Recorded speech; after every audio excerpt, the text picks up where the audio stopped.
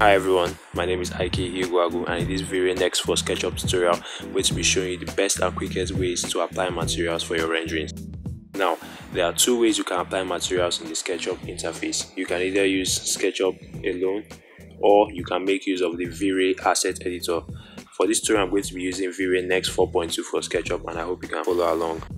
So here we are in the SketchUp interface and the first tool we're going to use for the basic material application is the paint bucket tool. So basically when you want to apply materials in SketchUp you simply go there as your first option. And then when you come here you are given this toolbar with different buttons on it. This is an eyedropper tool. As we see in um, softwares like photoshop and illustrator this item is used to select colors or object or in SketchUp's case you can use it to pick materials in case you want to edit them for later. And then let's check out the materials that SketchUp has over here. So we have a couple of folders here. Let's open let's open carpet and textures. All right so these are basically these these materials might look 3d but they are all two-dimensional materials meaning they are just basically images okay so for this let's use a brick yes brick and cladding. Okay let's use this. So I apply this my space here it's a group. So I have to enter this group and apply this material here.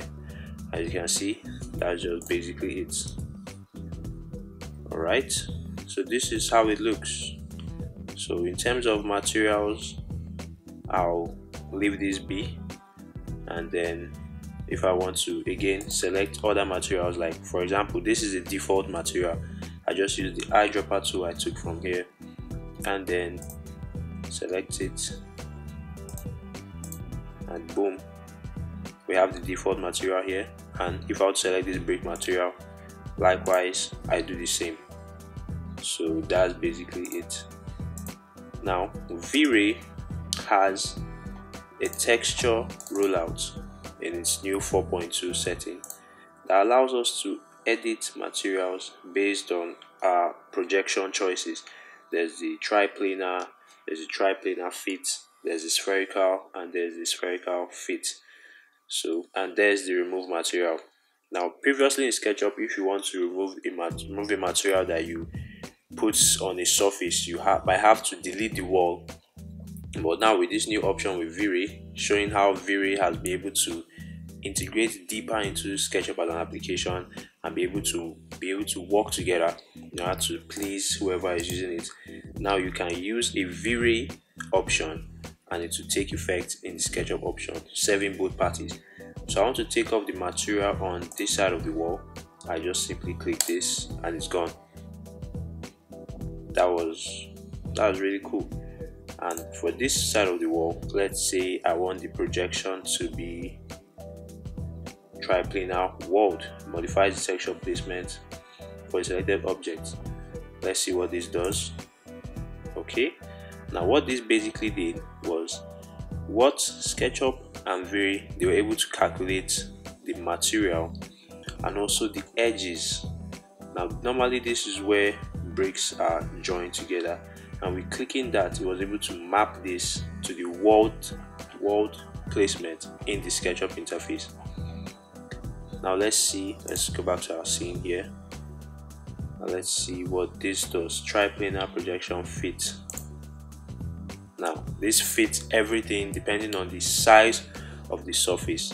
Now the texture material I'm using is dimensions maybe 2000 pixels by 2000 and SketchUp has this calculation fixture that maps it according to the dimension of the surface you're placing it. So you rarely use this option but you use it when you're making advanced materials which we'll get into and we come here. And then spherical projection. Wow the material is gone. Now i don't know where you need this besides spherical but maybe it's for spherical objects like circular objects that have continuous surfaces that might be difficult to map each one but I'll bring up a tutorial video on how to map circular objects later. And spherical projection fit basically the same thing. So let's take that back to our triplanar and then if we want to remove the material. Okay so now let's go on to the advanced method of making the material in V-Ray. First of all open the asset editor. And you can see here it's already showing the material that we applied before. Now this material might not be in your interface presently but it's saved already as a used material in case you want to use it later or apply it to any fixture later. But we'll make do of that and say goodbye all right so coming on to the material rollout. Presently we have no material here so this icon has gone from this blue to dim like the rest. So if we want to make a material we simply click and we have a choice of generic metallic emissive. Generic is a generic material just like the brick was. Then this is a metallic material as the name suggests metals. And then an emissive material materials that emit sort of light or anything two-sided. We'll go into all of this later on that video but let's simply look at how to make a material. Now we click generic and in this V-Ray editor we have a couple of wow really really intimidating switches in terms of beginner status. I know coming into V-Ray newly you'll be kind of shivering over these uh, over this setting rollout but once you get the hang of it it'll be no biggie.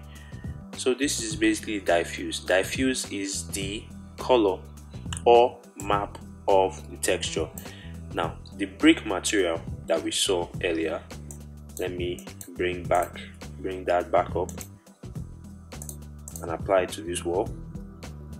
And if we go to our asset editor just give it a little time. Yes it's here and we have it and we in this our diffuse here in the texture slot if we click it we can see that this brick material is there. So basically in our generic material we have the option of putting any texture. It might be a picture of you or a color or any single thing as long as it's a texture map. By texture map either a bitmap and then supports all formats png and what have you. All right so basically we're going to put a base map for this. And I would like to go to texture images. All right and let's pick this tile. I'll leave a link in the description below to show you where I get all of my free PBR materials. I'm going to go to drop another video explaining PBR materials in detail. So I've applied this here and that means our generic material has a new texture and then we can come over because now it's in selection and paint over this wall and boom now this material is improperly scaled so let's try out this let's try out this triplanar world fit to see if it will give us a helping hand.